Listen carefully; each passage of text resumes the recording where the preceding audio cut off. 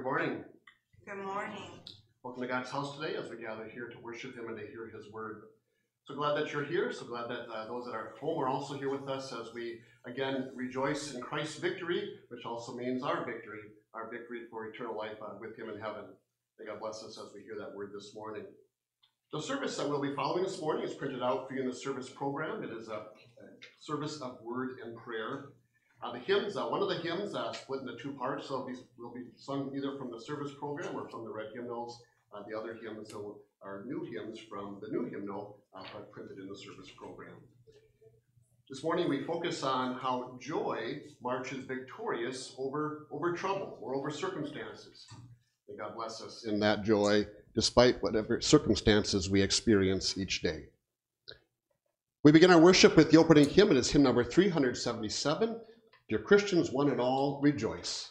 At this time, we'll sing verses 1 through 5. May God bless our worship.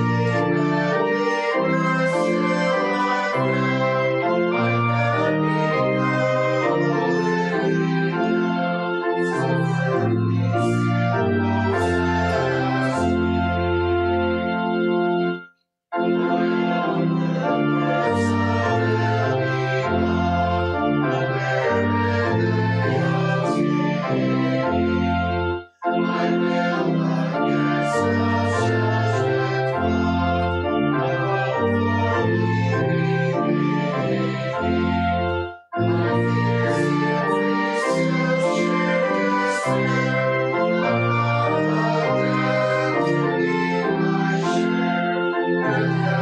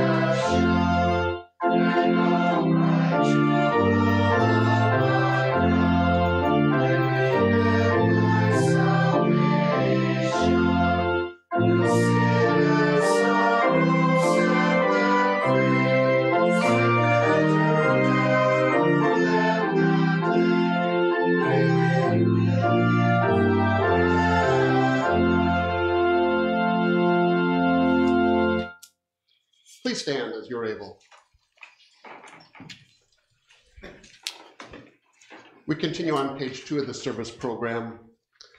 Christ is risen. He is risen indeed. Alleluia. I rejoice with those who said to me, Let us go to the house of the Lord. How lovely is your dwelling place, Lord Almighty. Blessed are those who dwell in your house, they are ever praising you. The Lord is near to all who call on him. To all who call on him in truth, God made him who had no sin to be sin for us. so that in him we might become the righteousness of God, Jesus was delivered over to death for our sins. and was raised to life for our justification. Death has been swallowed up in victory. Thanks be to God, he gives us the victory through our Lord Jesus Christ. Dear friends, let us approach God with the true heart and confess our sins, asking him in the name of our Lord Jesus Christ to forgive us. Lord of life, I confess that I am by nature dead in sin, for faithless worrying and selfish pride, for sins of habit and sins of choice, for the evil I have done and the good I have failed to do. You should pass me away from your presence forever. O Lord, I am sorry for my sins. Forgive me for Jesus' sake. Christ has died, Christ is risen, Christ will come again. In his great mercy, God made us alive in Christ even when we were dead in our sins. Therefore, as a servant of Christ and by his authority, I forgive you all your sins in the name of the Father, and of the Son, and of the Holy Spirit. Amen. Let us pray.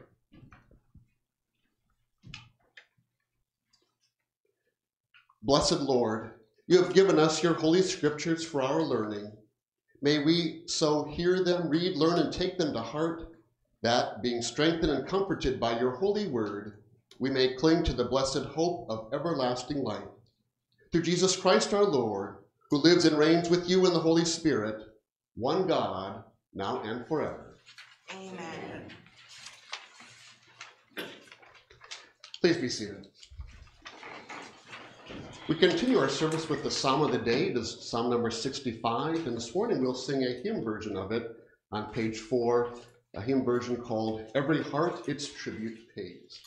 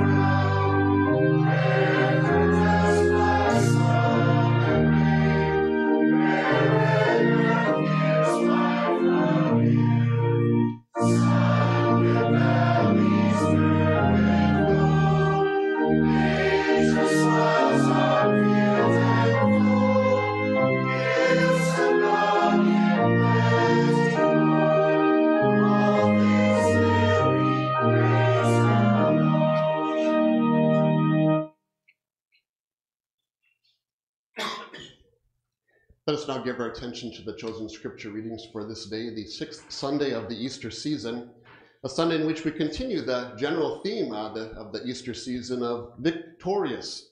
Christ victorious over sin, death, Satan, Christ victorious for us, and this morning special emphasis uh, because Christ is victorious, also then the joy that he gives and has secured for us is victorious over the difficult circumstances that we experience in daily life. The first reading is from the book of Acts, chapter 14, beginning at verse 8. Whereas uh, the, the, apostles, as witnesses of Christ's resurrection, uh, joy and ministry were unaffected by the difficult circumstances that they were experiencing. In Lystra, there was a man who was sitting down because he had no strength in his feet. He had never walked because he was lame from birth. When he was listening to Paul as he was speaking, Paul looked at him closely and saw that he had faith so that he could be healed. Paul said in a loud voice, Stand up on your feet. And the man jumped up and began to walk. When the crowd saw what Paul had done, they raised their voices, saying in the Lycaonian language, The gods have come down to us in human form. Barnabas they called Zeus, and Paul they called Hermes because he was the main speaker. The priest of Zeus, whose temple was just outside the city, brought bowls and garlands to the city gates because he wanted to offer sacrifices along with the crowds. But when the apostles Paul and Barnabas heard about this, they tore their clothes and rushed into the crowd, shouting, Man, why are you doing these things? We too are men with the same nature as you. We are preaching the good news to you so that you turn from these worthless things to the living God who made the heaven, the earth, the sea, and everything in them. In past generations, he allowed all the nations to go their own ways, yet he did not leave himself without testimony of the good he does. He gives you rain from heaven and crops in their seasons he fills you with food and fills your hearts with gladness. Even though they said these things, they had a hard time stopping the crowds from sacrificing to them. Then some Jews came from Antioch and Iconium and persuaded the crowds to stone Paul. When they, when they thought he was dead, they dragged him out of the city. But after the disciples had gathered around him, he stood up and went into the city. The next day, he left with Barnabas for Derbe. After they preached the good news in that city and had gathered many disciples, they returned to Lystra, Iconium, and Antioch, strengthening the souls of the disciples and encouraging them to continue in the faith. They told them, We must go through many troubles on our way to the kingdom of God. Next readings from the Gospel of John, chapter 16, beginning at verse 16. Jesus promised the disciples and, and also promises us that we will experience grief and sadness and we'll wonder, you know, where Jesus is. But that grief and sadness will be turned to perfect, complete joy in him. And remember that Jesus said these things uh, not too long before he was crucified. So strengthen the disciples for that experience. Jesus said, In a little while, you are not going to see me anymore. And again, in a little while, you will see me, because I am going away to the Father. Therefore, some of his disciples asked one another, What does he mean when he tells us, In a little while, you are not going to see me, and again, in a little while, you will see me? And because I am going away to the Father. So they kept asking, What does he mean by a little while? We don't understand what he's saying. Jesus knew that they wanted to ask him about this, so he said to them, Are you trying to determine with one another what I meant by saying, in a, little, in a little while you are not going to see me, and again in a little while you will see me? Amen, amen, I tell you, you will weep and wail, but the world will rejoice. You will become sorrowful, but your sorrow will turn to joy. A woman giving birth has pain because her time has come, But when she has delivered the child, she no longer remembers the anguish because of her joy that a person has been born into the world. So you also have sorrow now, but I will see you again. Your heart will rejoice, and no one will take your joy away from you. In that day you will not ask me anything. Amen, amen, I tell you. Whatever you ask the Father in my name, he will give you. Until now, you have not asked for anything in my name. Ask, and you will receive, so that your joy may be made complete. This is the word of the Lord. Thanks be to God. We continue with the second half of hymn 377, Dear Christians, one and all rejoice. And as you notice in singing the first five verses, it's really the, the account of, of us, our sin and need for a Savior, God sending his son Jesus as Savior, and then Jesus carrying that out. And so we continue that account of Jesus as our Savior and our joy in him with verses 6 through 10.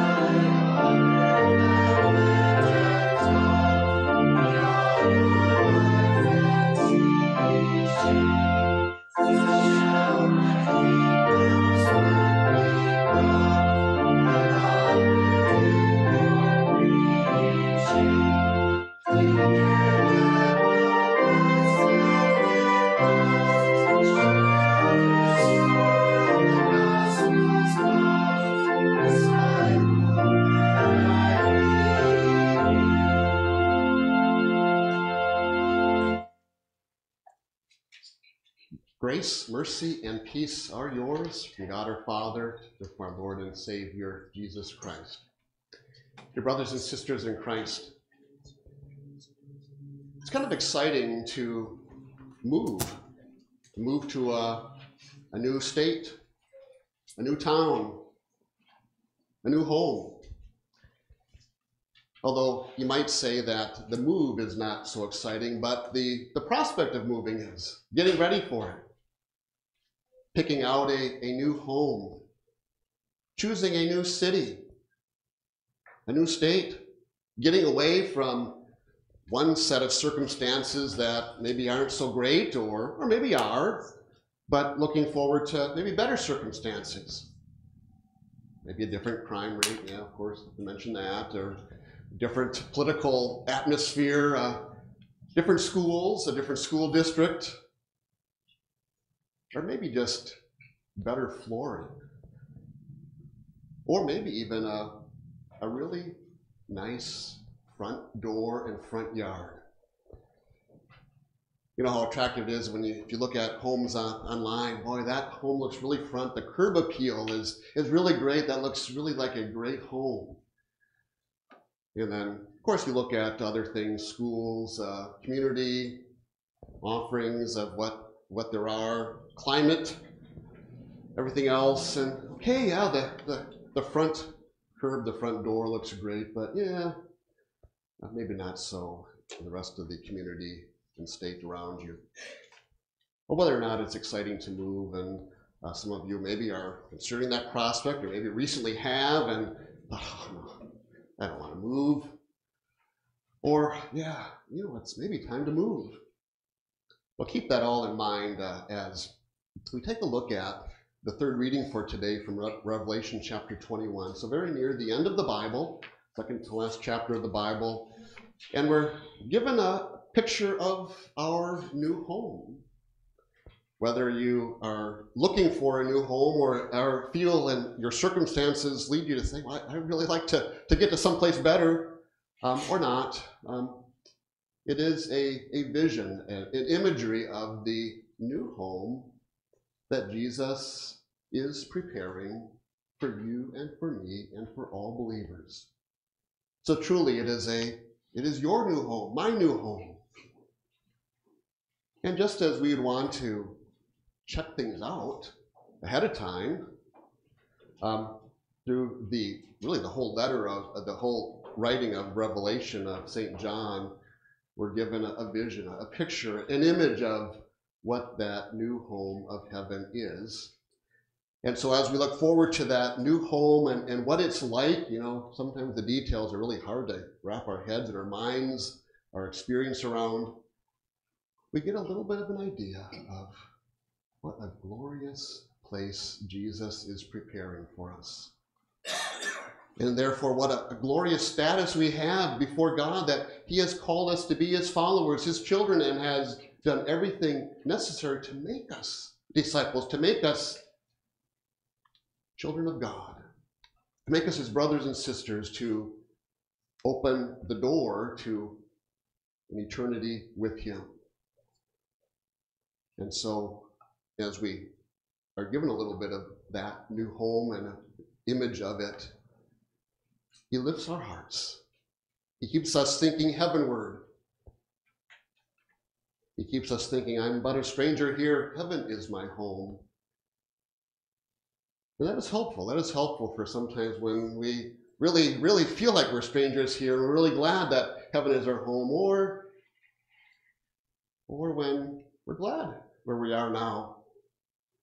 This description of our eternal heavenly home is so great that it lifts us to say, boy, even though things are great here, they'll be so great in heaven that I'll be happy to move when God says it's time to move. So here are the words in Revelation 21, uh, verses 21 through 27, and they they pick up on a, a description of heaven, imagery. Uh, John was given this vision of heaven, and and the wording is uh, a lot of it is symbolic. Uh, a lot of it may be may be very liberal, literal. Uh, we're, we're not really quite sure, but most of it points out to us that things are so wonderful that we can't even imagine uh, how great they are. And so it begins right in with uh, a description of our heavenly home and the city, the holy city that it's in, the holy Jerusalem.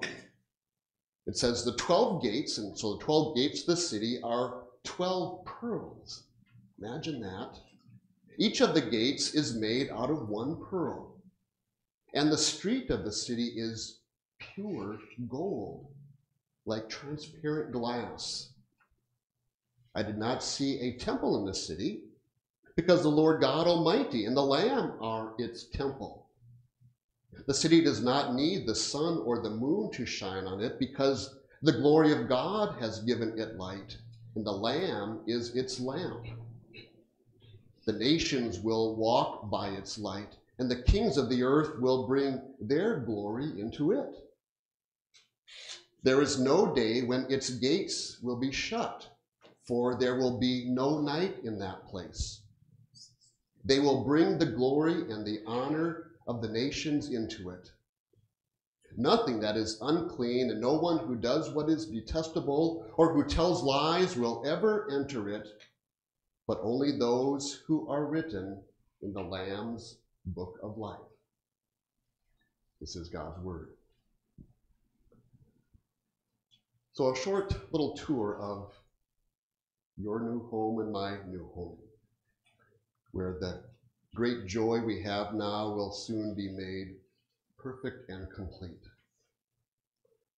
And so, the front door, the gate to the city, really, the city that will be our, our heavenly home, pearl, gates of pearl.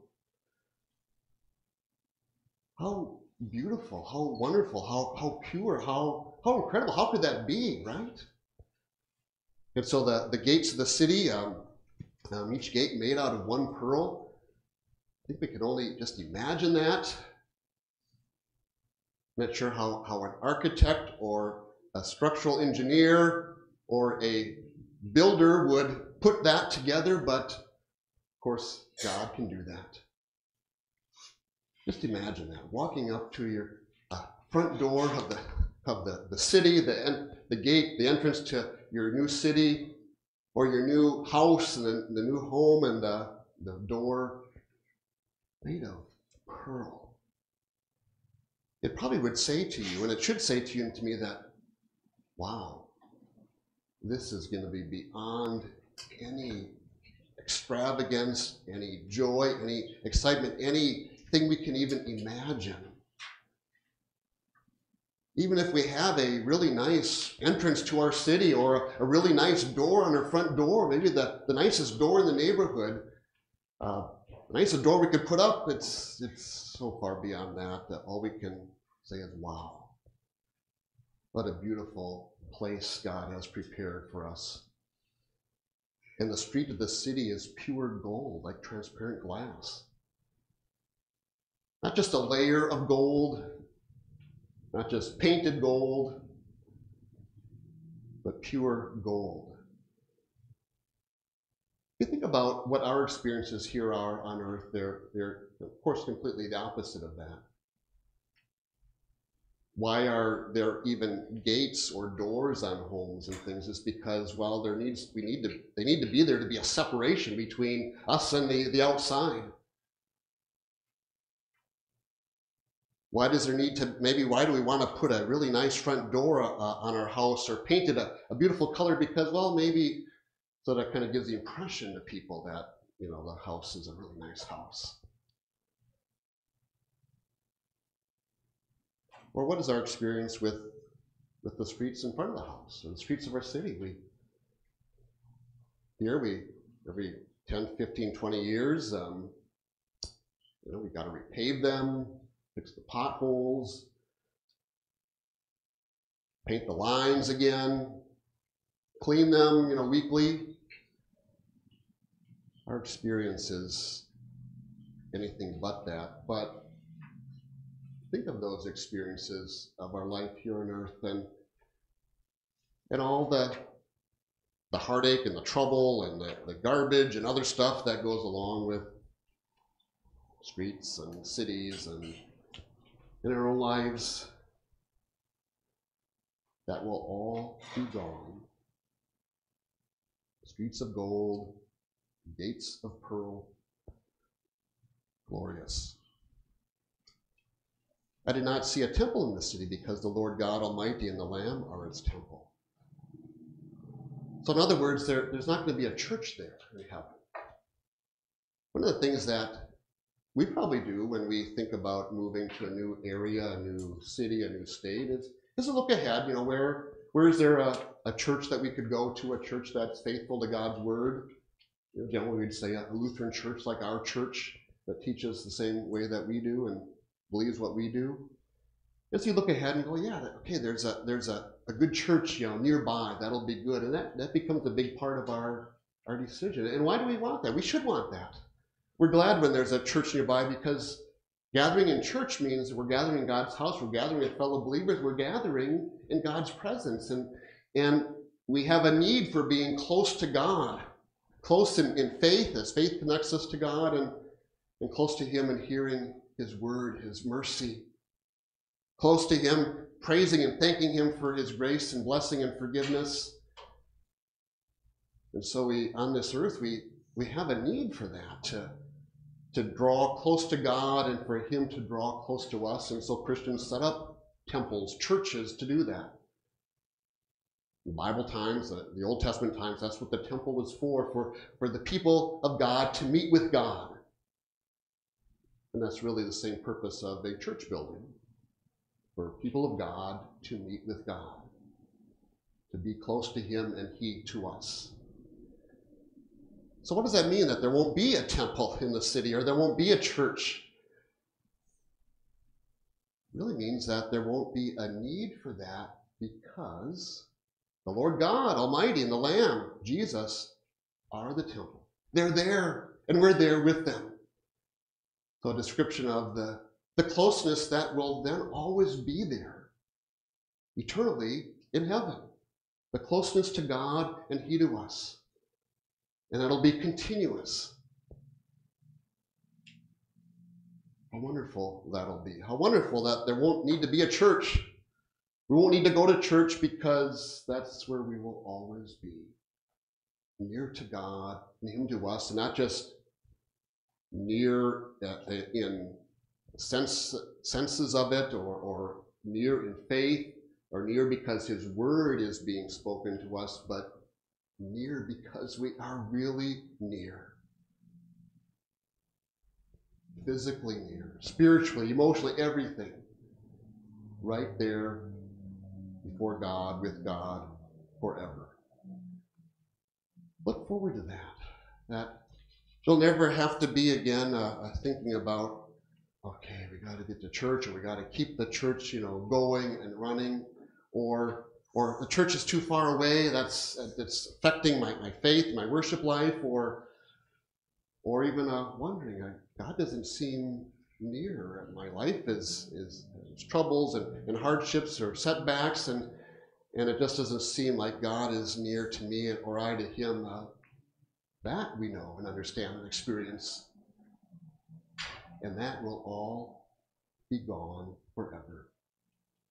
Near to God and Him near to you and me forever. That sounds like a great place to, to live, doesn't it? The city does not need the sun or the moon to shine on it because the glory of God has given it light, and the Lamb it's, is its lamp.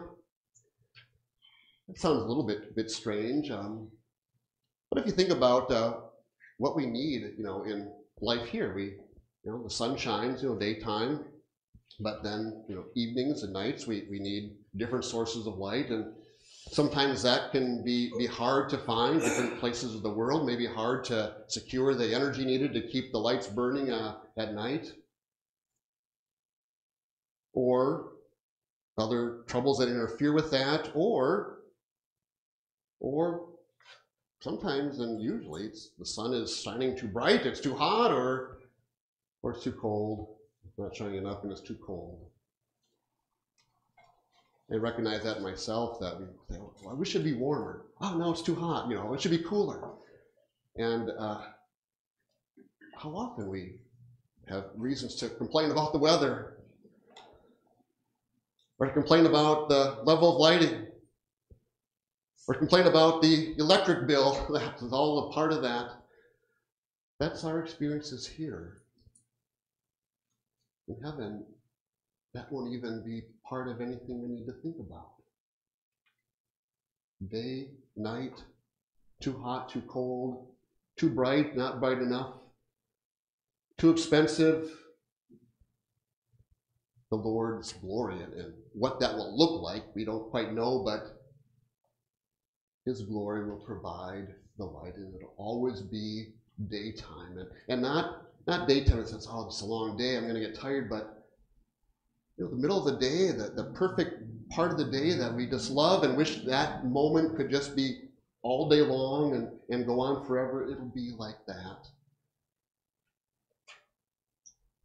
Boy, that sounds like a, a great home, a great place to live, a, a great climate there forever. Second part of that, that description, the nations will walk by its light, and the kings of the earth will bring their glory into it. Sometimes the phrase, you know, to walk by something means to, to describe our, you know, life of how, how we live or our life of faith. When we, we walk in the way of the Lord, that means we're, we're living in faith, going God's way.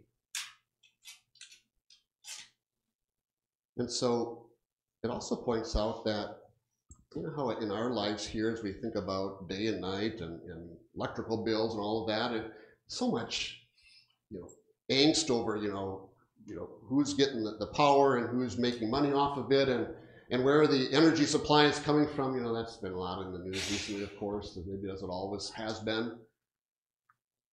And we then think about others taking advantage of the energy supply or, or this or that, and, and other nations going to war against other nations over energy, and all the issues that caused by people being at war individually or as group by group, community by community, nation by nation, that too will all be gone.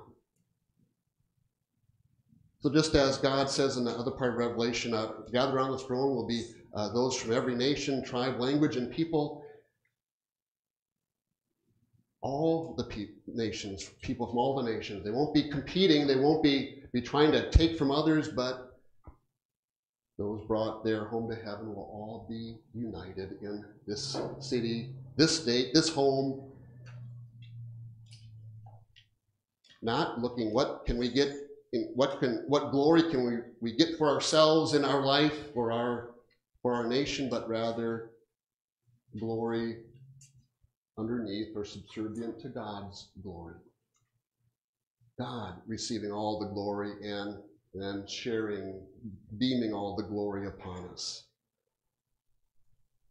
So, any experience that comes to mind when nations go against nations, as will always be the case on this earth, that will be gone forever.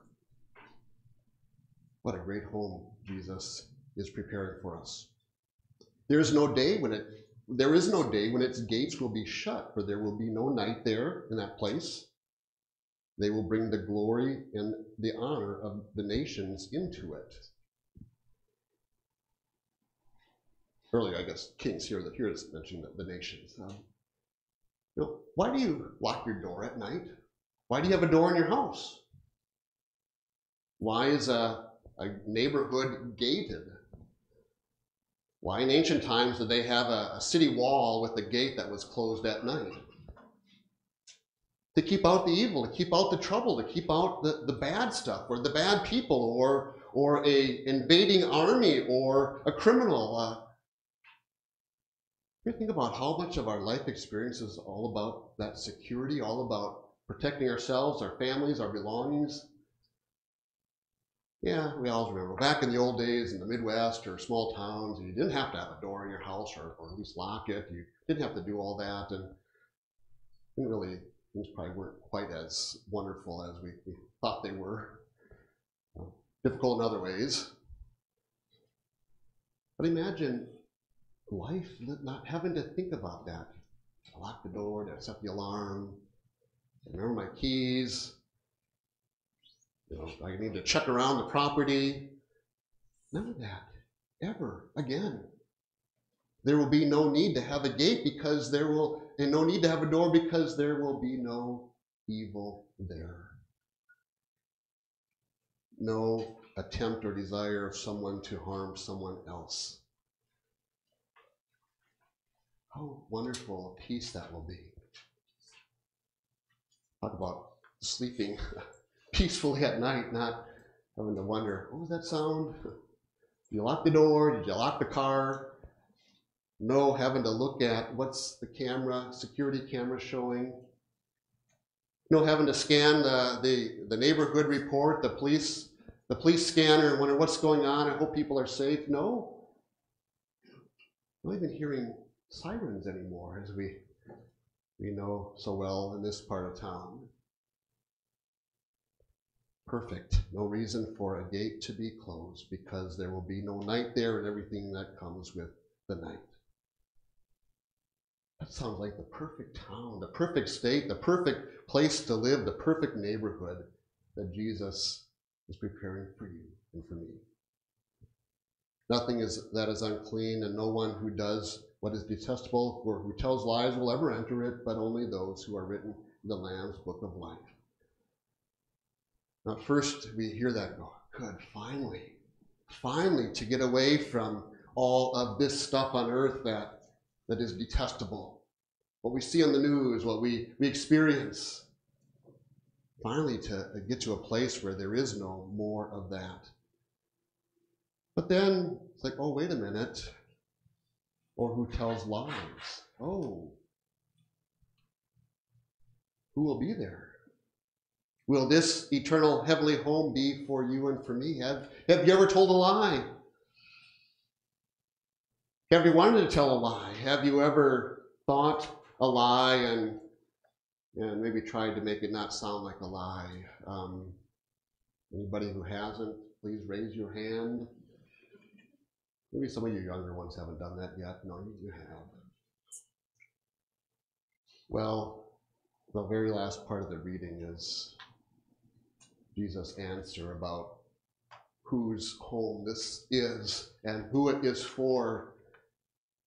And it is not for those who have never told a lie or never sinned.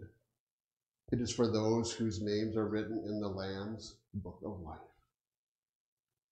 It is for those that Jesus has made his own, has washed clean of lies and detestableness by, by his blood, who has covered it over with, with his righteousness, who has changed us, changed us from being liars to being his holy, dearly loved children, holy, dearly loved brothers and sisters, part of his family, and therefore heirs, inheritors, ones who have a claim on this home, this heavenly home. Not because we lied a little bit less than the rest of the people out there, but because Jesus has taken away those lies by his death on the cross. Not because we're just a little bit less detestable, or maybe a lot less detestable than other people that we've seen in life, no, but because Jesus has taken our detestableness upon himself and got rid of it at the cross and replaced it, replaced it with his righteousness, his perfectness. And with that, and declaring that to be the truth, writing our names in his book of life. Now, if God would give us the opportunity to, high definition, uh, camera to look very closely at that book of life and, and to see the, the names written there, um, you, would, you would see your name. You would see your name. It is there. How can we be sure that this new home is ours? How can we be sure that our name is written there? How can we be sure that, yeah, this incredible joy will replace what we experience here on earth? Well, we come back to the the idea of Jesus' Easter victory. He's victorious, therefore we are victorious. It really comes back to that Easter declaration. This is our new home. We know it is. Our names are written there. We know they are because Christ is risen. He is risen indeed. Amen.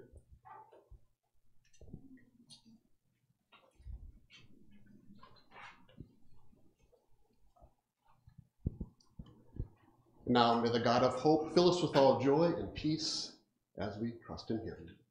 Amen. Let us together confess our faith in this, uh, our Savior God, the Triune God. The Apostles' Creed is on page seven of the service program. I believe in God, the Father Almighty, maker of heaven and earth.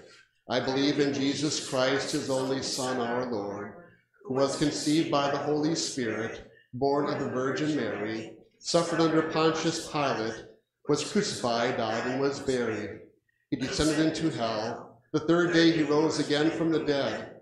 He ascended into heaven and is seated at the right hand of God the Father Almighty. From there he will come to judge the living and the dead. I believe in the Holy Spirit, the holy Christian church, the communion of saints, the forgiveness of sins, the resurrection of the body, and the life everlasting. Amen. Lord, hear my prayer. Listen to my cry for mercy.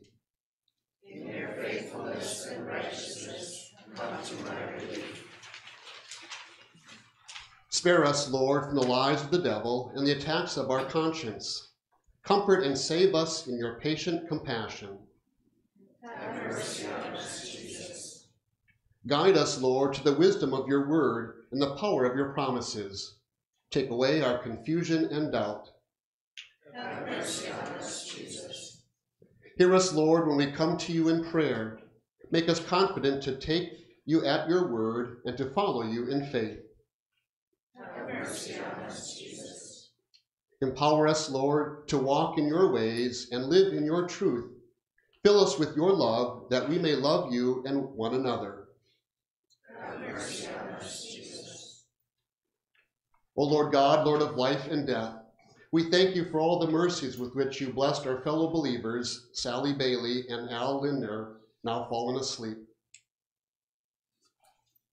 We thank you especially for having brought them to the knowledge of your Son, Jesus Christ. We pray that you would comfort their families and all who mourn their deaths with your, with your precious promises and cheer them with the sure hope of a blessed reunion in heaven. Grant the lifeless bodies rest and at last, together with us all, a joyful resurrection to life everlasting. Teach us to number our days aright, that we may gain hearts of wisdom and finally be saved through Jesus Christ, our risen and ever living Lord. Amen. O God, you are the giver of everything good. Inspire us, your humble servants, to long for what is right and, through your gracious guidance, accomplish, accomplish it to your glory. Through your Son, Jesus Christ our Lord, who lives and reigns with you in the Holy Spirit, one God, now and forever. Amen. Our Father, who art in heaven, hallowed be thy name. Thy kingdom come, thy will be done on earth as it is in heaven. Give us this day our daily bread, and forgive us our trespasses, as we forgive those who trespass against us. And lead us not into temptation, but deliver us from evil. For thine is the kingdom, and the power, and the glory, forever and ever. Amen. The Almighty and merciful God, the Father, the Son, and the Holy Spirit, bless us and keep us. Amen. Please be seated for the closing hymn verses. They are on page nine. Two closing verses from uh, a newer hymn, which actually is a very old hymn, new to us, but beautiful verses about the home that Jesus will bring us to.